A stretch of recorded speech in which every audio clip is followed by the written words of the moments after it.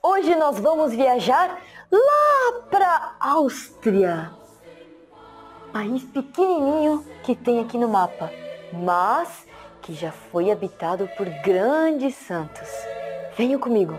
A mãe, tomando um dia o filhinho pela mão, levou-o a uma igreja e diante de um belo e devoto crucifixo, disse-lhe: Meu filho, de hoje em diante, teu pai é Jesus.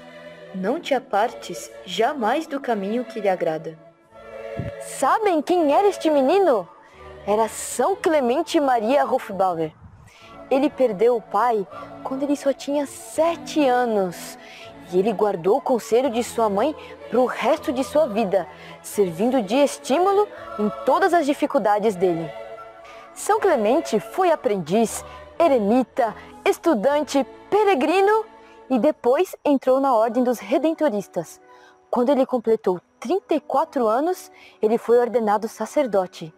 E Santo Afonso, quando viu falar dele, disse: Esse padre fará grandes coisas para a glória de Deus. Em favor das crianças pobres e órfãs, saiu o santo a esmolar, tendo que passar por humilhações e vexames. Sacrificava-se pelo bem das crianças.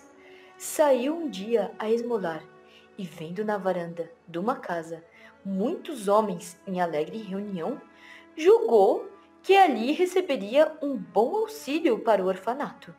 Aproximando-se com muita convicção de um daqueles senhores, disse-lhe: Meu amigo, venho pedir-lhe um auxílio para os meus orfãozinhos. Nada disso! Eu tenho dinheiro não, padre. E ainda mais para essas crianças. O homem, nada amigo de padres e ainda menos disposto a dar esmolas, cobriu de injúrias e, exaltado ao extremo, com muito desprezo, cuspiu-lhe no rosto. São Clemente, com grande calma e paciência, tomou o lenço, limpou o rosto e disse: Meu amigo, isto foi para mim. Agora, dê-me alguma coisa para os meus orfãozinhos. Entre aqueles homens não houve quem não admirasse a heróica mansidão de São Clemente.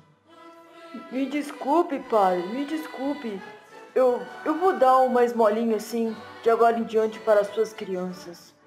O próprio ofensor, arrependido, deu-lhe uma boa esmola e tornou-se grande admirador do santo.